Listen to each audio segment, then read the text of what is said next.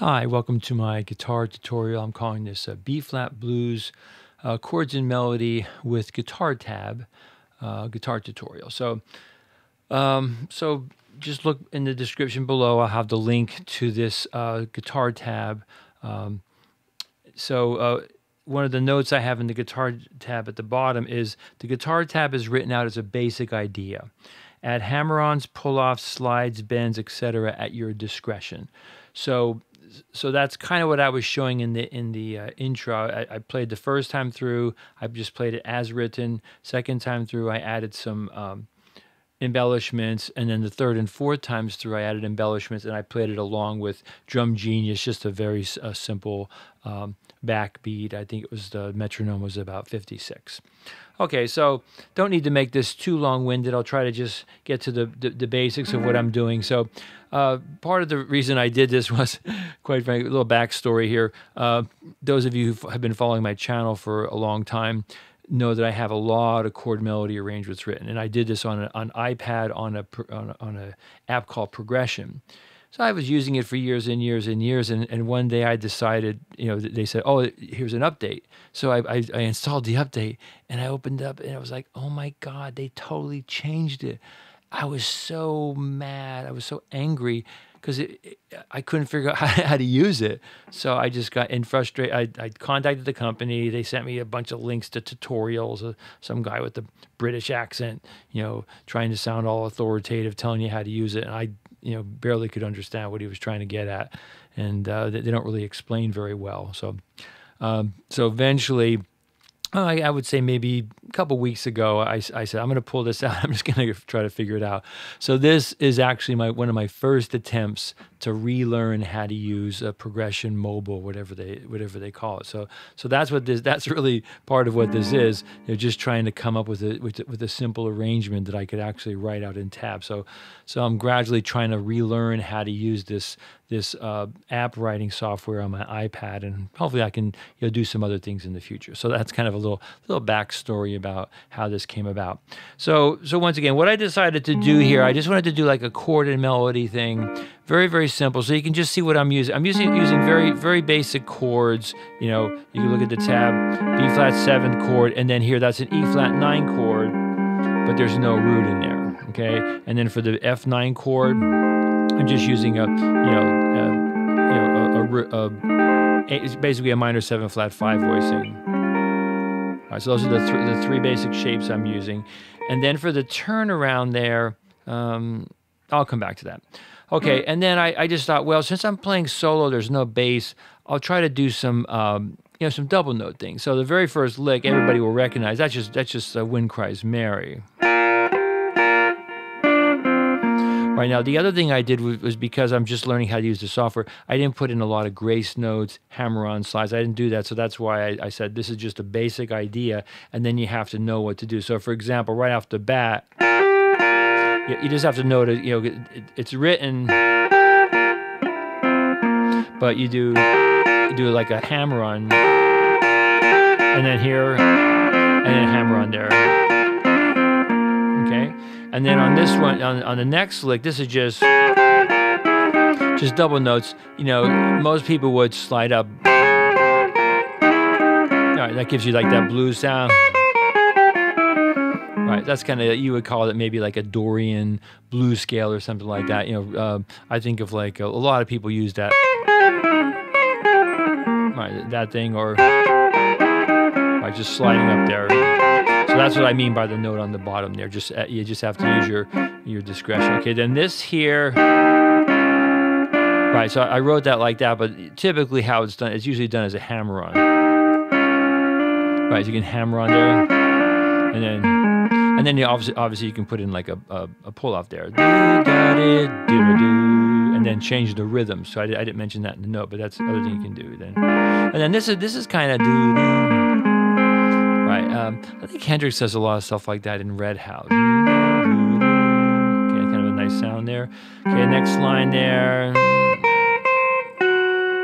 Right, so, that, so I wrote it very straight, but then a lot of people would go either um, uh, slide or maybe a bend there.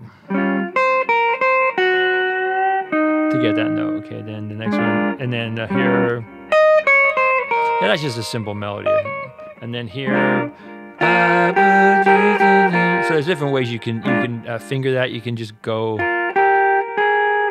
use your fourth finger, or you can do like a little uh, slide up there. So so so to get the two notes to ring out, you just have to make sure that you're not bumping into the next string. And then, all right. So there, I just wrote it really straight. Uh, I think one of my examples. Yeah, I'm a big fan of just kind of like teasing up those half step bends up to the flat seven. Right, uh, slide up there, or or, or a half step bend. Okay, then the next one, okay, the, so the F, okay, so this is just a typical sound. I, I, I kind of think of like Robin Trower here. Uh, what is that? Too Rolling Stoned. Uh, he does that stuff. So I just have it as da da da da, but you can slide. So that's a good good uh, sixth sixth interval here. Then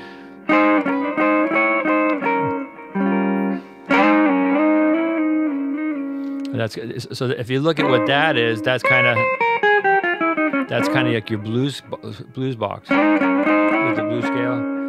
Okay, and then here I did a couple different things with this. Uh, so th this is like a typical walk down. Right. So then, as I was preparing for this video, I thought, well, uh, I think I've heard players do things where you kind of leave out that third note of each triplet. So you have here, Right, that, that's a nice. So so just as written, or just leave out the the third note of the triplet. And then here, that's just a typical walk up there. So so so you could have done. I could have done that in a different rhythmic device.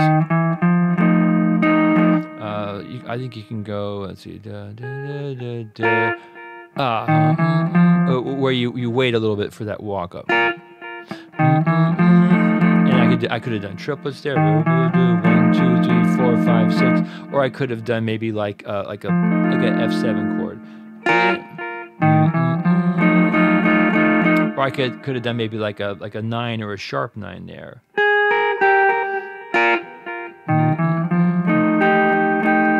Nine or sharp nine. Or sharp, uh, sharp five. Okay. That's just a couple couple ideas there, and then I think the, I think the very last time in, in the opening uh, playing demonstration, I just I just did typical bar chords. So I could have done I could have done this like that. I could have done um, you know bigger chords. I just decided to do just kind of smaller chords. You know, if you're if you're playing with a backing track with a with a bass player, this would sound really nice. If you're your bass with.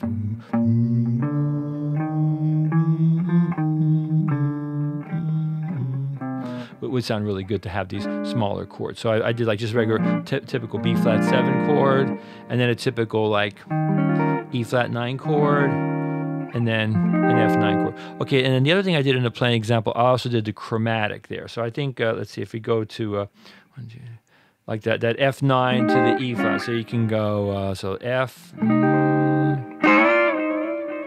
and then F, E, E flat. Again, so F, chromatic. So you can do it with the with the full chord, or you can also do it with those partial chords.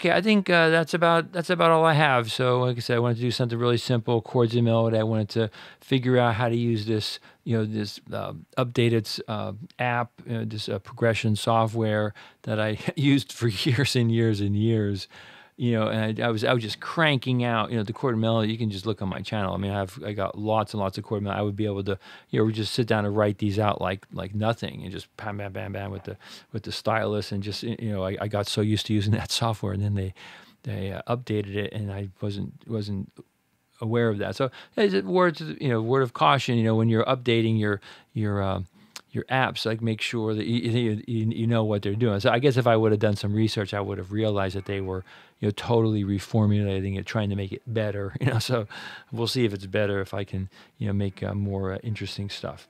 So um, okay, well, thanks for listening and watching. I think I'll do I'll do a little uh, improv at the end here. Um, I have, like I said, I have nothing nothing particularly planned. Um, this was just supposed to be a simple uh, demonstration. So maybe I'll do. Um, let's see.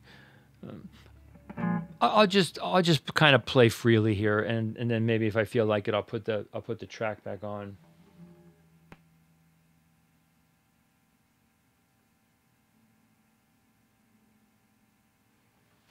Actually, now I'll test myself here. What I'll do is I'll, I'll, I'll put like a kind of a swing feel, swing feel on a little bit faster for the, for that. Okay, so I'll just kind of do a little bit here. So th- thanks for listening and watching.